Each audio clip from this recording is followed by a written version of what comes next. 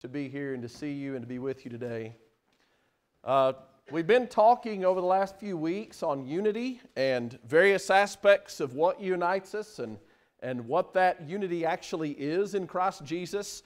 And today we're going to talk about unity amidst disagreement. And those two things sound like they can't really coexist, but there are scriptures that tell us about when we have disagreements in certain areas. And so the subtitle of our lesson this morning is Traditions, Opinions, and Personal Convictions. So uh, we're going to revisit some things before we really dive into the meat of our lesson today. Starting with this Ephesians chapter 4, verses 2 and 3 with all lowliness and gentleness, with long suffering bearing with one another in love. And this was mentioned in Brother Monty's lesson that we're to bear with one another in love. This is a part of what unites us. And that bearing with one another means to put up with one another or to tolerate one another. And, and that happens in every family, doesn't it? Within every body or social group or community, there are going to be disagreements. There's going to be personality quirks where we get on each other's nerves and we annoy each other, right? Amen. We all annoy each other at times. And so Paul tells us we have to put up with one another and to do that in love. We're also told to have a family like love that causes us to value one another. And so the words kindly affectionate uh, could be rendered to have a family like affection for one another. And we're to do that with brotherly love and in honor. And that word means value. And so we value one another. That's part of what unites us. Thirdly, we're to treat one another with kindness and compassion. And sometimes that's difficult to do because, again, we have people with personality quirks and they rake our nerves, and, and, and we're all that way, aren't we? And there are things that upset us, and what are we to do? We're to have the love for one another that we have for ourselves. To love one another as we do ourselves. And when we do that, we always have compassion for ourselves, right? We want kindness to be displayed toward us, and so we're to also show that toward one another. So these are some of the foundations of unity. Now, are there exceptions to this? Well, let's think about this for a moment. Just this is 3 verses later. So this was Colossians 3:12. 3 verses later, Paul says this, "And let the peace of God rule in your hearts to which you also were called in one body, and be thankful." So think about this precept or this concept of ruling for a moment. There's something that is to reign, that is, it governs. And it governs where? In the heart. And what is it that is to govern us? He says, Let the peace of God rule or reign in your hearts, to which you were also called in one body. So let's unpack that for a moment. Within this body, we are to allow the peace of God that's been distributed toward us to also flow out of us toward each other, and that is to be a ruling principle of what we do within the body. We are called to peace. And so when we decide, how am I supposed to interact with, one, with, with, with my brother? What are we supposed to do when there's sin? What are we supposed to do when there's disagreement? Well, this is the ruling principle, okay? This rules over all of it. We're called to peace. So no matter how we go about trying to navigate these disagreements, here's what we do know. Whatever we do needs to be done in the spirit of peace. And so we're trying to make peace within the body. That's the governing principle of unity is that we're all called to peace. So is there a time when that just can't happen?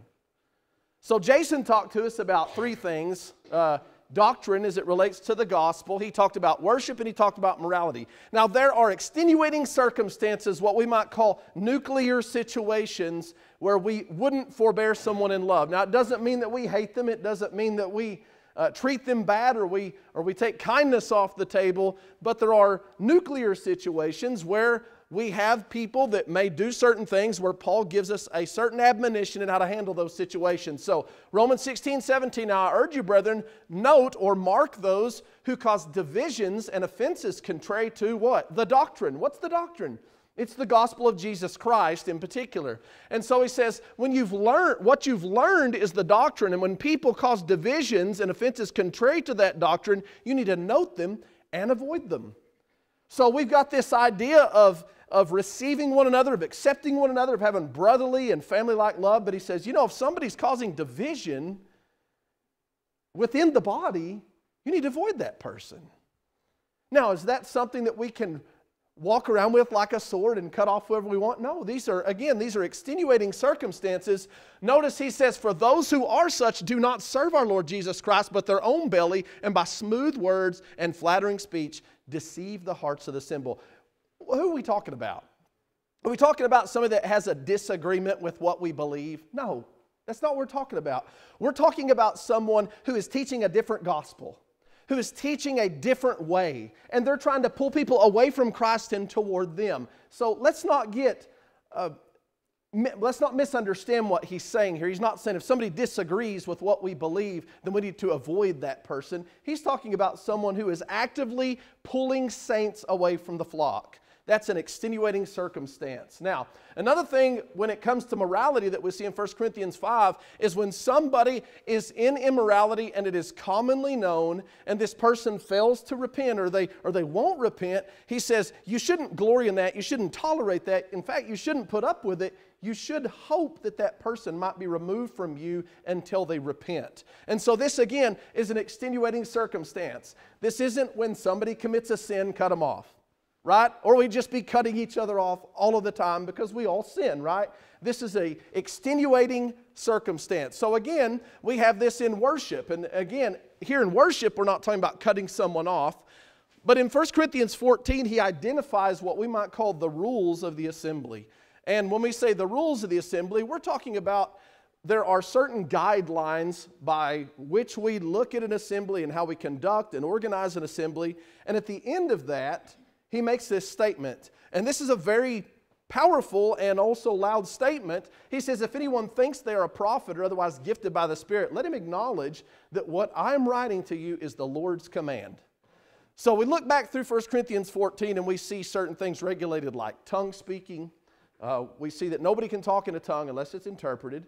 We see that women are not to be teachers within the assembly. Doesn't mean they're not to be teachers outside the assembly, but they're not to be teachers inside the assembly. That's something that he writes about. Uh, he talks about them not even asking questions during the teaching portion. And so we may buck against that and say, well, you know what, that's not fair. Paul was sexist, and Paul, he, he dispels all that by saying this. If somebody thinks they're a prophet or otherwise gifted by the Spirit, now why does he say that?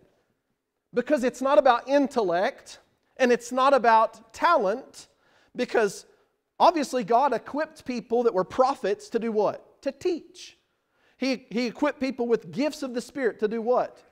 To use those gifts to the glory of God. So he's saying, even if you are a prophet or you're someone that is spiritually gifted, being given a gift by God, it doesn't mean you can ignore these things. Why? Because these are the Lord's commandment about how the assembly is to be conducted. So let him acknowledge that what I'm writing to you is the Lord's commandment. It's not Paul's suggestions, it's not Paul's bias, it's what God told Paul to say. And here's how you handle that. Now, what do you do if somebody decides not to abide by those rules?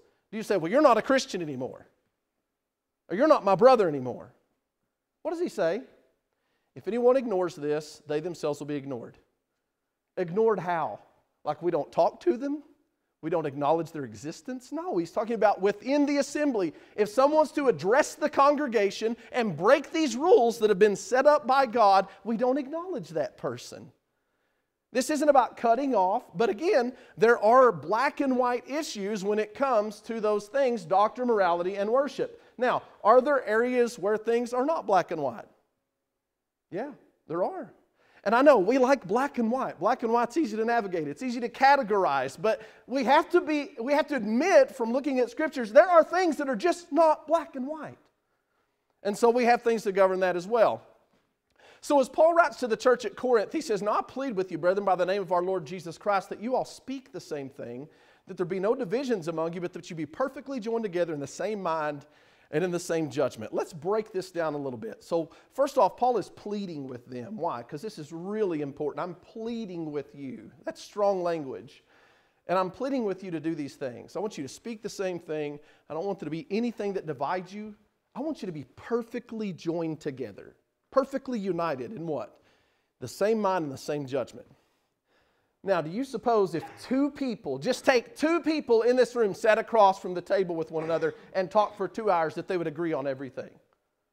No. I, I would say you take a husband and wife and sit them across the table. They're not going to agree on everything. You take siblings, you put them, you get the point. There's no two people that agree on everything. So why would he say this when it's impossible? Because when it comes to doctrine, we can all speak the same thing and be undivided. Why? Because there's an absolute foundation, an absolute standard of God's word which which to operate from. When it comes to worship, it's the same. When it comes, uh, was the third one I was talking about a moment ago? I already forgot. When it comes to morality, there's a foundation there. There's no, there's no outside the box where we can say, yeah, but, because God has already given us the absolutes. But then there are things like tradition, liberties, and personal conviction, not conviction itself, but personal convictions, where that's more of a gray area. And those are the things we're going to disagree on or might disagree on, and it's okay to disagree on those things. And we're going to try to work through that and look at God's Word and come to an agreement on them, but that's not always going to happen. So, what do you do? And what is tradition? We talk about tradition a lot. You know, this, this tradition subject was a great, a great percentage of the Gospels was Jesus dealing with Jewish tradition and with Pharisaical tradition and just tradition in general. A lot of his problems that he was dealing with was because people had took tradition and they'd made it doctrine. They had moved it over into the wrong category. So let's just define tradition before we dive into it. I know that's small. Just want you to see this from Webster's dictionary. This is just a generic definition of tradition. It is how the Bible uses the word tradition. it means an inherited, established, or customary pattern of thought, action, or behavior. So that's the definition of tradition that it gives this sub explanation of such as a religious practice or social custom. So let's think about this an inherited, established, or customary pattern. So a synonym for tradition might be custom. We may use the word custom. That's our custom. That's our uh, accepted practice, we might say. So he says inherited. Well, does that mean genealogical? No, not genealogical. It's not DNA. We're not talking about DNA here. We're talking about traditions that are passed down from generation to generation to generation to generation. Now, now, who, who is it that governs those a lot of times? Well, it can be parents or grandparents or great grandparents, as some traditions will pass along several generational lines. So that could be the source of tradition. Uh, the source of tradition could be uh, societal. And when I say societal, I don't mean American society. I mean society being the social group that we're accustomed to interacting in. So think of this congregation as being a society, if you will, and some of those traditions may be governed by what we've understood the group to believe is acceptable. That could be another place where traditions can come from, and it was certainly where the Jewish traditions uh, were coming from. They were looking around, they were looking at the religious leaders, they were saying, What's the acceptable way to practice traditions? And they all just accepted that that's just the way things are. Now, is that wrong inherently? No, it's not wrong. I'm just trying to explain where traditions come from. Uh, traditions may also come from mentors. Uh, and, and by mentor, I mean somebody that's taken you under their wing and they begin to teach you about life and teach you about how to act and how to think and what your attitude should be. So that's another thing. And Jesus will address that, and we'll look at that in just a moment about mentors. But you know, another place that tradition can come from is the Bible. And so there are traditions that actually come from the Bible. And the problem is, people look at tradition as a very negative thing. And tradition is not always a negative thing, but it can be if it's not from the right place. So let's think about parents for just a moment. And, I hear this a lot. You only believe what you believe because that's what your parents believed. Now, on the surface of that, that's insulting, right? That I would be so naive that I would believe what I believe only because my parents believe it. Now, Here's the problem though it's, it may be insulting and it may be offensive, but some of that's true, right? For every one of us, some of that's true. I mean, we, there, in some ways, we, we have a difficult time escaping the influence of our parents. And so rather than get insulted, let's just dispel the word only here, okay? You only believe, okay? I don't only believe what I believe because my parents believe but there's a lot of things that I do believe because that's what my parents believed. Or my grandparents believed it. I was raised by them too. So I've, I've got all these influences in my life. So just to say, well, that's not true is unfair. It's true. But let's understand something. It's not wrong to believe what our parents believed, but our faith needs to be deeper than that. Our faith doesn't need to be in our parents, okay? Our faith needs to be in the Word of God. And so, whatever I do decide to do and I believe is right can't just be because my father, my grandfather, someone else's father or grandfather believed or taught that. Secondly, our parents' belief can be and are sometimes and are often wrong. And we have to admit that. Well, why would we say something like that? Well, because every one of us are wrong at times, right? And so we have to understand just because our parents say something doesn't necessarily mean it's absolutely true. And that can influence us. Why? Because we learn the traditions when? When we're about this tall. How much does a person who's this tall really understand about the world, about the Bible? How much cognitive ability do they really have to sit and look and view a tradition and say, is this wrong or right, or is this good or this bad? They don't. So we learn the tradition at a much earlier age than we actually could understand it. And so we may not ever question it, and that's the point here. We need to question why we do what we do. And if the only reason, let me repeat that, the only reason we do what we do is because our parents did it, we still need to question it. We, we really need to question it. But just because we believe the same thing as our parents doesn't mean our beliefs are wrong. That, that's a straw man argument, is what it is. Someone's just trying to say, well, you, they're trying to get you to question your faith. And, and, you know, when kids reach a certain age, sometimes they have a knee jerk reaction to what their parents taught them. They throw everything out that their parents taught them. That's also not productive. That's actually a terrible thing. How do I know that? Because I did that for a while. I tried it my way and didn't work out so well. So don't throw everything out, but yes, take the Word of God, sit down, and question. But you know what? Maybe there is a reason why our parents did things, and it wasn't just because their parents did it. Maybe they did that because that's what God's Word told them to do.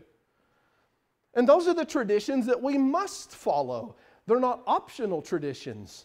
These are the practices that are built on the foundation of a greater principle. And so Paul writes here and says, Therefore, brethren, stand fast and hold the traditions which you have been taught. Now, what does that mean, which you have been taught? You know what the word doctrine means? That which is taught. That's what the word doctrine means. So, what's he saying?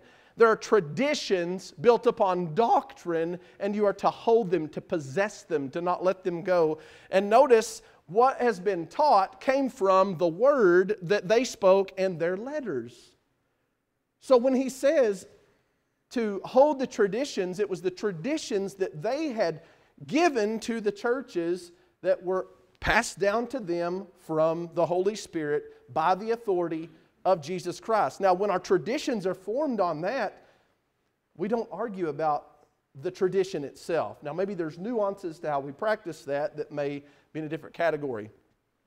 Jesus told us that the truth would divide parent children relationships. Did you know that? He said, I didn't come to bring peace, I came to bring a sword. Now, what Jesus is not saying is, I came to divide families, but here's a reality. There will be times when, if you stand on the truth, it will divide relationships. That's a reality. And that's what Jesus said would happen. And I believe he uses father and mother and these other familial relationships because those are the greatest relationships we think would never be broken. But he said, truth divides those relationships. And a man's foes may be, his enemies may be those that are in his own house. And here's the most important thing he who loves father or mother more than me, more than me. See, Jesus says you've got to make a choice. Who are you going to be loyal to? And this applies in this discussion about what we believe and what we think is right and what, how we live. Is who is my loyalty to? Is it to my parents or is it to Jesus? And if it's over on this side, we need to move away from that side. Now, sometimes the parent and Jesus are one, right? That's what, we're, that's what we hope, right? That the parent and Jesus, they're united and we're united with Jesus, and so we're united with our parents. But that's not always reality. And so we have to make a choice to be loyal to Jesus and to his teachings. Jesus said this This people draws near to me with their mouth and honors me with their lips, but their heart is far from me, and in vain they do worship me, teaching his doctrines, the commandments of men. So, for all you young people who are used to texting, this isn't yelling up here. That's not why it's in all caps. It's because it's a prophecy. And in certain translations, the prophecies are all caps. Just, just side note here, he's not yelling this. But I want to see that there are three things here, okay? There's the heart, there's the mouth, right? And then there's worship. So there's things going on here that would reflect worship, right? But he said that worship is empty because the doctrines are the doctrines and commandments of men, not the doctrines and commandments of God. So all these things end up blending together at some point worship, doctrine, tradition, all those things. He's addressing their traditions, and those traditions had the wrong foundation. And because they were more loyal to their self and to their family and to their social, their society, it had taken them away from God, and they were still doing things that were religious and worshiping God, but it was all empty. It was all worthless. So let's talk about mentors and the impact that mentors can have on our traditions. In Luke chapter 6, 39, this is a very familiar passage to us. He spoke a parable to them Can the blind lead the blind? Will they not both fall into the ditch? He's not trying to be unkind to blind people here. He's just giving an analogy that will help us understand a concept.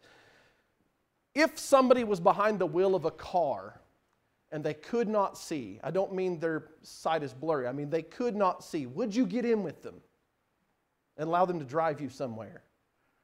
Nobody would do that, right? Nobody. Why? Because we're okay. You can do a lot of things to be blind, but what you can't do is lead other people with your eyes.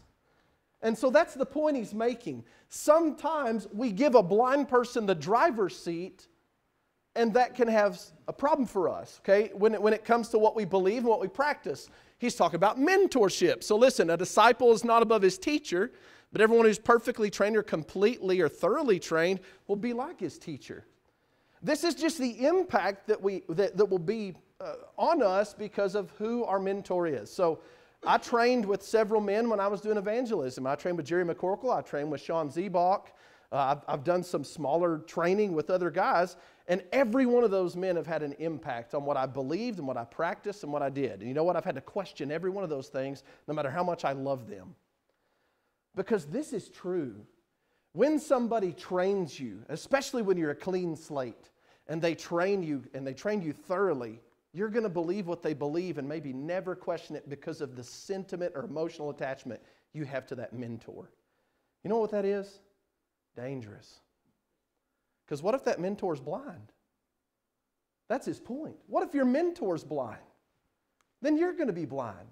And you're not going to know that you're blind. You'll just believe what they believe and think it's right and never really be able to see the truth. So he continues this thought by saying this, and why do you look at the speck in your brother's eye and but do not perceive the beam in your own eye? Or how can you say to your brother, brother, let me remove the speck that is in your eye when you yourself do not see the beam that is in your own eye? Hypocrite, first remove the beam from your own eye, and then you will see clearly to remove the speck that is in your brother's eye. We associate this with judgment, and rightly so, because it is about judgment, making judgment. But do you see how many times he uses the word eye? He uses it over and over. You will see clearly. Your eye has a beam, your eye has a speck. Your brother's eye, your eye. It's all about what we see. It's all about what you see. And what do you start that out with? If you're blind, you can't see. And sometimes you're blind because you got a beam and you in your blindness want to go do surgery on someone else and pull a speck out of their eye when you've got a two by four sticking out of your head? It's ridiculous, right? It's ridiculous. What was their beam? Tradition. That was their beam. How do you know that? Because he just talked about it right here.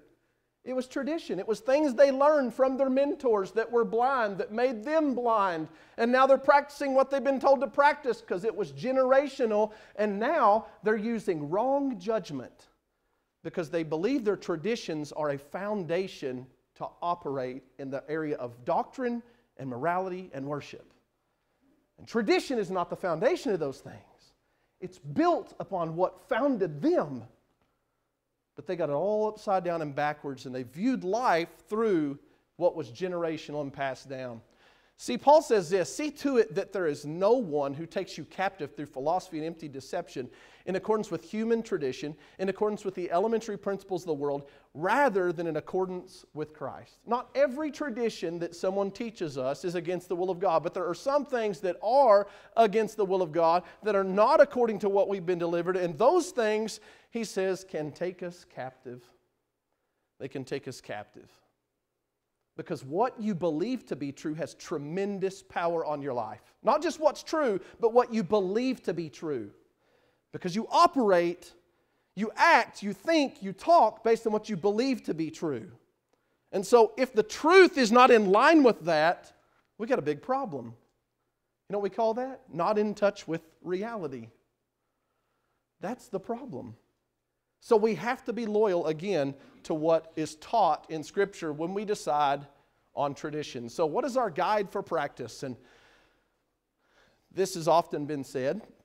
I've said this, I've taught this. In fact, I taught this multiple times when I was doing the five part as a young evangelist. One of my older evangelists asked me one day, he said, Is there a command necessary or uh, example or necessary inference that teaches us to use command, example, or necessary inference? And I was speechless. I had nothing to say. You know why? Because we just kind of made that up. I mean, now, are these things, uh, is there a foundation here? Yes. Commands, obviously, right? Obviously, commands are authoritative. What about examples? Every one of them? Which examples are authoritative and which ones aren't? You say, well, all of them are. Well, we'll look at that in a second. So, when we're coming up with traditions, which biblical New Testament examples are authoritative and which ones are not? Okay, now here's a big one necessary inference. Who gets to decide which inferences are necessary and which ones aren't? Who decides that? That's a slippery slope, isn't it? Very slippery. But this one right here, absolutely. And this one right here, when it's founded on this right here, then the examples are authoritative. So when we look at examples of New Testament practice, when we see a command being lived out and applied by the New Testament, we go, okay, that's how they did what's been commanded. Those are authoritative. But you know what? There are a lot of things the New Testament church did that we don't do. And I don't hear anybody thinking that they're really what exactly what should we should be doing. So in Acts 4:32, the Christians sold their land and houses and laid the proceeds at the apostles' feet. Is that our example? Why do you have houses? Why do you have land? It's an example. Is it an authoritative example? What about this one? Christians had a public book burning in Ephesus. When's the last time we had a public book burning here in Pampa? Does anybody do that? Is that a binding, authoritative example? How about this one? Timothy was circumcised so he could go and work with the Jews. Does every evangelist then have to be circumcised? It's an example, right? We see that New Testament Christians did it. Paul preached until midnight. We got a long ways to go. It's an example. So, what's the point? You see, what's your point? Every one of these things are good examples that are built on greater principles. Why did Christians sell their land and houses and lay the proceeds at the apostles' feet? I'll tell you why.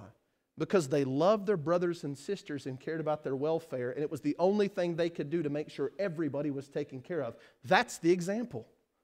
Christians had a public book burning. Why'd they do that? Because God commands us to burn our books? No, because they were cutting off the hand that offends them. They were plucking out the eye that offends them. They were showing that they were repentant and they were removing that which made a provision for their flesh that would gratify their lust. There was a greater principle that drove the tradition, the action, the application. And there are things like that. And my point is this we've got to use righteous judgment we may see somebody doing something a little bit differently because of a greater principle, and we may look at it and go, well, we don't see that specifically as an example in the New Testament. But what if it's built on a greater principle? Did Jesus ever address that? He certainly did. In fact, he addressed it in reference to traditions. He said, Woe to you, scribes and Pharisees, hypocrites, for you pay tithe of mint and anise and cumin, and have neglected the weightier matters of the law, justice and mercy and faith. These you ought to have done without leaving the others undone. Blind guides who strain out a gnat and swallow a camel. Now we'll deal with this in just a moment. So he says that you're very tedious. You're very tedious in tithing. Why, why, why would I use the word tedious? Because this is mint, and what is translated as anise is actually not anise, it's dill, dill seed, and then fennel is cumin, fennel. Okay? You've seen fennel on your pizza, I'm sure. Little bitty seeds. They're very small. Think about this. If you had a jar of this and you were going to divide it out and you were going to give a tenth of that, that would be very tedious, wouldn't it? Would you count it? Probably not. You probably weigh it, right? But what standard would you use to weigh it? The ounce, the gram? How tedious are we going to be? They were very, very tedious. Why? Because they didn't want to break the law. But then you know what he said? You'll strain out a gnat. You'll strain out a gnat. Now, strain doesn't mean choke. Strain means like we put something through a strainer. And why would they strain out a gnat? Because gnats love grape juice. You know what they drink all the time? Grape juice. And so, so they wouldn't break the law. Whatever grape juice container, wine container, they'd put a piece of cloth over it and they would strain out the gnat. So they didn't break the law because the law says don't eat a gnat. Very tedious, but he said you'll swallow a camel. Now, were they really eating camel? I don't know. Camel was against the law to eat. It chewed the cud, but it did not have a cloven hoof, so they couldn't eat it. His point is this there's these little tedious things that you're very, very astute on. You, you understand that you can't do that, but there's these large things that are very much in your face and easy to see, and you're neglecting those.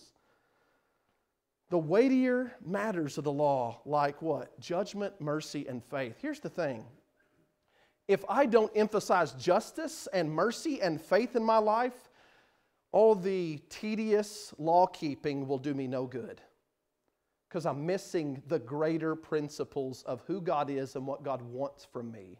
They were blind, doing religious things to the honor and glory of God, but blind because they were so stuck on tradition, they missed that there were greater principles within what God had told them to do. John 7 21, Jesus answered and said, I did one work and you all marvel. And that work he's talking about is healing someone on the Sabbath day. Moses therefore gave you circumcision not that it's from Moses, but from the fathers, Abraham. And you circumcise a man on the Sabbath. If a man receives circumcision on the Sabbath so that the law of Moses should not be broken, are you angry with me because I made a man completely well on the Sabbath? Do not judge according to appearance, but judge with righteous judgment. Okay, let's break down what's happening here. Jesus heals a man on the Sabbath day, and these Pharisees are watching him. You know why they're watching him? They want to accuse him. And so the moment he heals this man, they're like, Ha, got him. He worked on the Sabbath day. And you know what he's saying? You're hypocrites. You're such hypocrites. He said, You circumcise on the Sabbath day. Well, why would they do that? I'll tell you why. Because there was a law that said the baby had to be circumcised on the eighth day of life. And a lot of times that eighth day of life was the Sabbath. So what were they going to do? Not circumcise them? Well, we can't not do that because that's what puts them in a covenant relationship with God. But it's the Sabbath day and we can't break the Sabbath day. And so what do they do? They, they use righteous judgment and saying, okay, this is fine to do on the Sabbath day because it's a greater principle, right? They use that judgment and he says, but you don't give me that same grace? It's okay to circumcise someone on the Sabbath, but it's not okay for me to make someone who has been in bondage to a sickness all their life well on the Sabbath day? See, they were blind. They weren't using righteous judgment. They were judging. They were judging, but he says, You're judging according to appearance. What does that mean? We may say, Don't judge a book by its cover. Why? Read the book. What's inside the book? What is the intention of the author? What did he say in the book? Don't judge a situation according to appearance. So a lot of times I know I've been guilty of that. I've looked at a situation when I don't feel good about that. I don't like that. I experienced that for two solid weeks. Because I'll tell you, things are done differently in India. The first thing that happened that morning, that Sunday morning in Malapur, was that four men got up to lead the song instead of one. And my brain is going, how are they going to do this? Then they all grabbed microphones. And the microphones were abrasive. They turned the bass way up and the treble way down. It goes. You know what people were doing? Worshiping God. But that's not what we're used to. And so I'm thinking at that moment, there's nothing right about what's happening here. Preach with the translator. It doesn't feel right. And, and that's a lot of what happens. People do things that are different than what we do, and it doesn't feel right, and so we just go, well, it's wrong then. Don't judge according to appearance, use righteous judgment. We must ask the question is what is happening here violate the will of God? Is it built upon a greater principle that we see taught? And that's going to take maturity. And that's why we need leaders, we need teachers to be talking about these things because not everybody has the same level of discernment. There are some people that understand the simple things, there are some people that understand those more discernment level. Uh, concepts or conversations, and we have to give the people that are not as mature some grace as they're learning. As they're learning. Why? Because their senses have not been exercised yet to discern both good and evil. So, as Brother Nathan read from us from, uh, for us from 1 Corinthians 8, 4, and 7, you notice that Paul points this out. He says, Now concerning the things offered idols, we know. Who's we? Everybody that knows. It's everybody that knows. We know what? That an idol is nothing. But did everybody know that? No, he points that out. What does he say? However, there's not in everyone that knowledge. So, what's his point? You can't just operate off what you know. Because if you do that, you'll hurt the people that don't. You'll hurt the people that don't know. And he said, their conscience is not the same. Their level of discernment's not the same. Their conscience is weak. And he said, if their conscience is weak and you do something out of your knowledge but not considering them in love, you may wound their weak conscience and destroy your brother for whom Christ died. And now what have you done? Oh, you did what you believe was right, but you hurt someone in the process. And so when we talk about unity and disagreement, this is the key. So we're going to go through some verses in Romans 14 as we close. Now, accept the one who is weak in faith, but not for the purpose of passing judgment on his opinions. And when we're talking about opinions here, we're not talking about just generically, we're talking about religious opinions, that is, personal convictions. He says, accept that person who is weak in faith, which is very similar to the language that he uses here about the conscience being weak and about the strong and the weak. So just wanted to point that out. One person has faith that he may eat all things, but he who is weak eats vegetables only. The one who eats is not to regard with contempt or to despise the one who does not eat. and the one who does not eat is not to judge the one who eats, for God has accepted him. Who are you to judge the servant of another? To his own master he stands or falls, and he will stand, for the Lord is able to make him stand. Verse 5 One person esteems one day as better than another, while another esteems all days alike. Each one, listen, each one should be fully convinced by his own mind or in his own mind.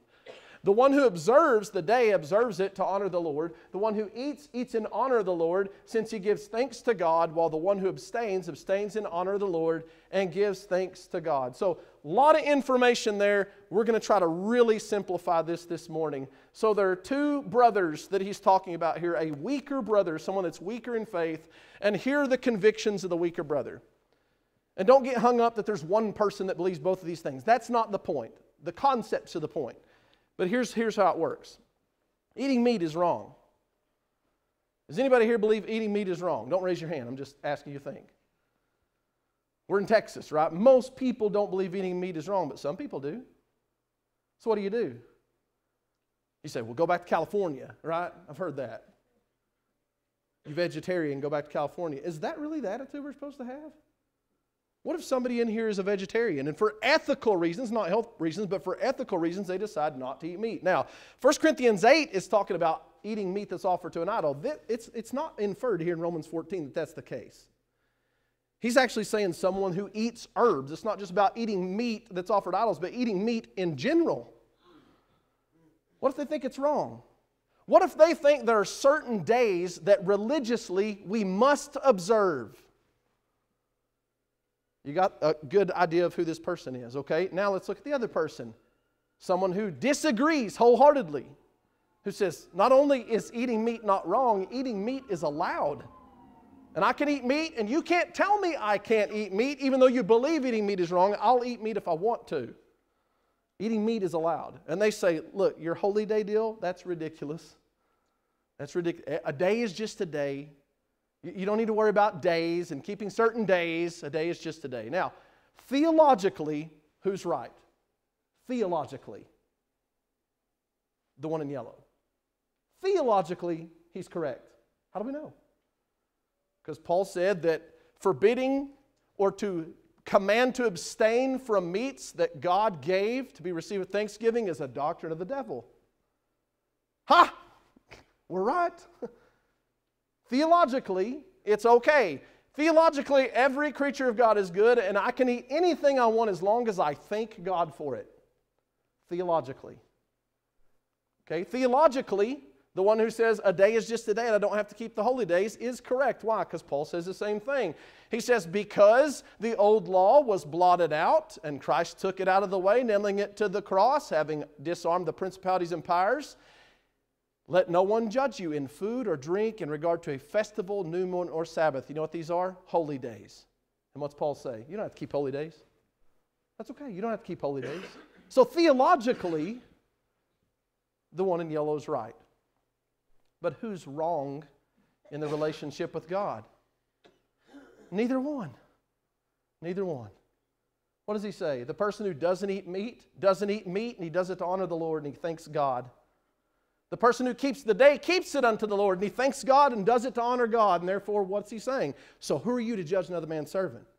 He does that to honor God. Remember, this is not about doctrine. It's not about commandments. This is about those things where the Bible hasn't really said, you must do this. So here's the thing the Bible never says, you must eat meat. Never says that. It's a liberty. You can choose to eat meat or you can choose not to eat meat. God doesn't care either way. You know what God cares about? That you recognize that He's God and He's the giver of all things, and you do what you do to honor Him in that liberty. In that liberty. And so the man that eats meat, he thanks God for the meat and he eats the meat and he says, Hey, look, a day's just a day. It's not a special day, but guess what I'm going to do on this non special day? Honor the Lord. And it's about honoring the Lord. Now, this is pretty cut and dry, right? Mm, no, there's another element of this that we have to consider, and, it's, and here's the element. What I do to honor God is not just about me and God, it's not just about my personal relationship with God because I've been put within a body. And what I do affects you, and what you do affects me. So I can't just look at it from, well, I'm going to have my personal conviction. I also am commanded here, number one, if you're the person who believes the liberty that someone else is exercising is wrong, don't you judge them and don't you condemn them because they're the servant of God, not yours. And if you're the person who has the liberty and you look at somebody else and you think, well, how shallow and narrow minded are they that they think that that should be something they should restrict themselves from? He says, don't you despise that person. And what does that mean, despise? Does it mean hate? No, it means treat them with contempt as though they're a lesser Christian. We're one. Our traditions are different, but we're one. And the last thing that we want to do is allow our traditions and personal convictions to destroy the church of God. Why do you pass judgment on your brother? Why do you despise your brother? For we will all stand before the judgment seat of God. Not a person in here will stand before the judgment seat of Ian. And I will not stand before the judgment seat of you. I will stand before the judgment seat of God. Now, there's things that God has commanded us to hold each other accountable on. And those are things in doctrine, in morality, and in worship. But tradition, if they don't violate the Word of God clearly, what's he say? Don't judge each other.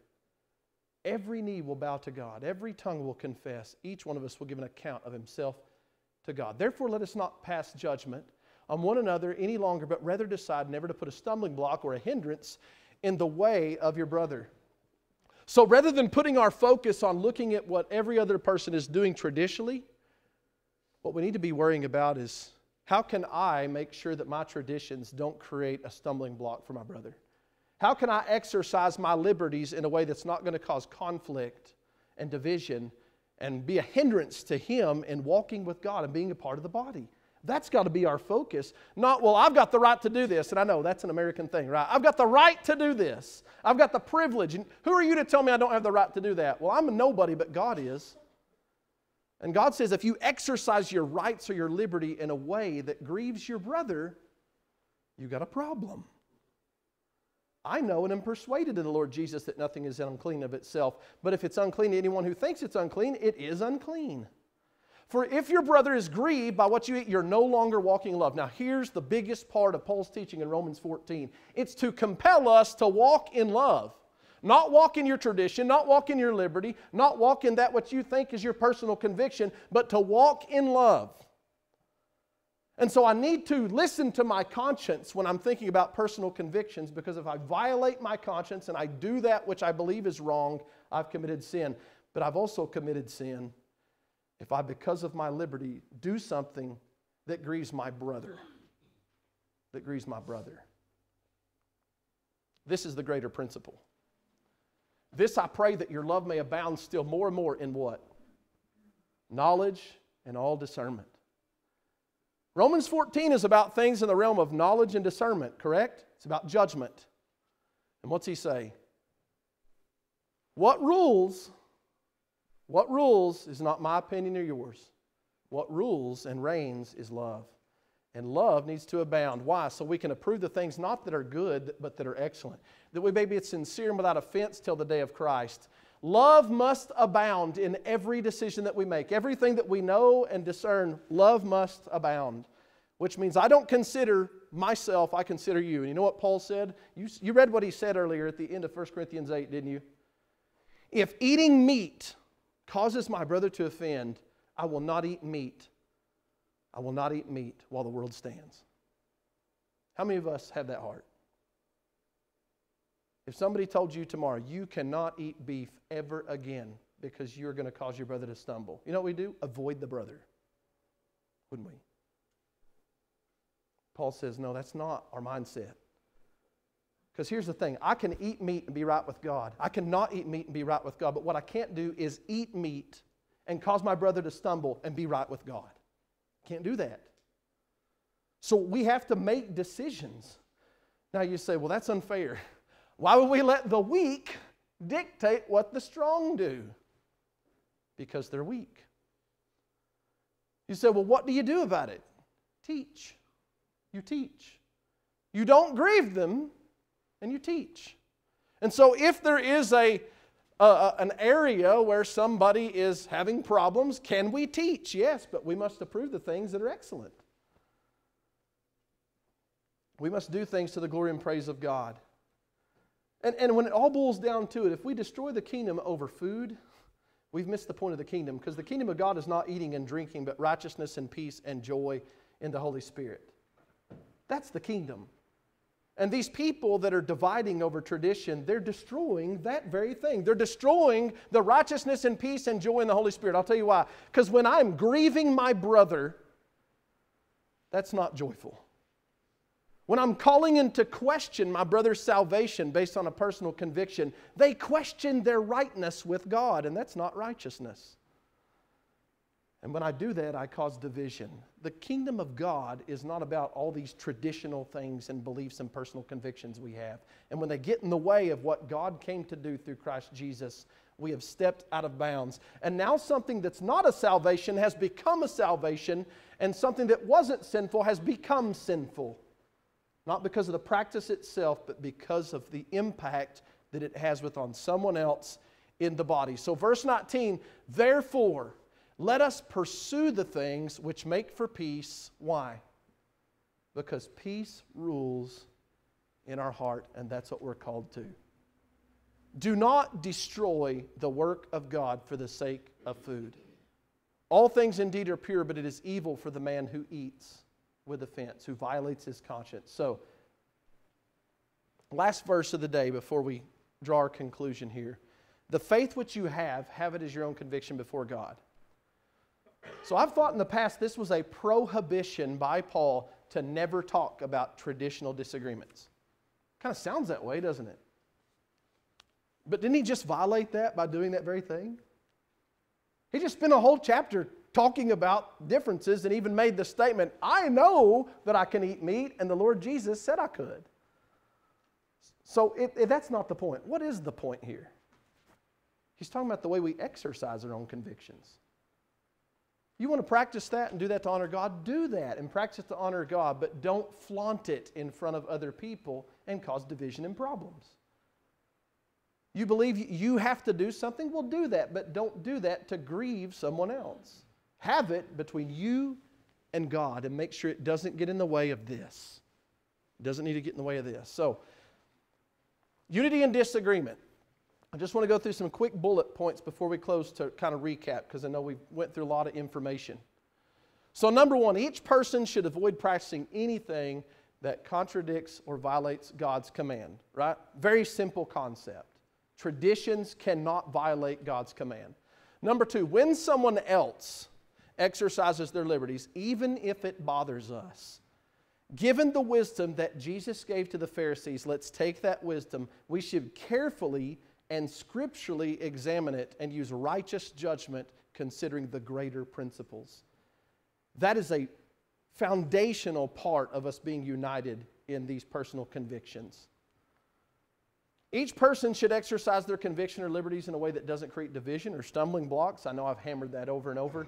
The manner that we exercise those liberties should promote peace and edification. That was the greatest point of Paul's letter and his chapter in Romans 14. And each person should receive and value their brother and abstain from judging them based on personal convictions. So, if we're going to do that, here's some things we need to always remember we're part of a body. You know, if we could just always keep that in the forefront of our mind, a lot of this stuff would just be a non issue. If I always interacted and I talked and I, and, I, and I did what I did, always thinking about, hey, look, before you do this, you're part of a body. So really think about is this going to affect the church? Is it going to affect my brothers and sisters? If we just did that, a lot of this other stuff would fall in place. Number two, Jesus is the head of that body. Jesus is the head of that body. He rules, He reigns. And at the end of the day, I don't get to be king, and I don't get to decide what's right for other people when God hasn't said that something's right or wrong. And love demands that I value your soul above my tradition, opinion, or conviction. You know what? That is a hard pill to swallow, but that often is the truth. And you've seen it, haven't you? You've seen somebody sacrifice brotherly love on the altar of their opinion. You've seen it, haven't you? I've done it. We cannot do that. Do not destroy the work of God for the sake of a personal conviction. I hope the lesson has been helpful for you this morning. Uh, more than that, I hope that it helps each one of us strive to be united and navigate these somewhat difficult situations when it comes to areas of judgment. If you're not a child of God and you're not part of the body of Christ, we want to ask at this time, invite you to come and become a part of that body, be united with Jesus if you are a part of that body and you've been struggling in your life, we also offer the invitation for you as well. Come have a seat and let us help you as we stand and we sing.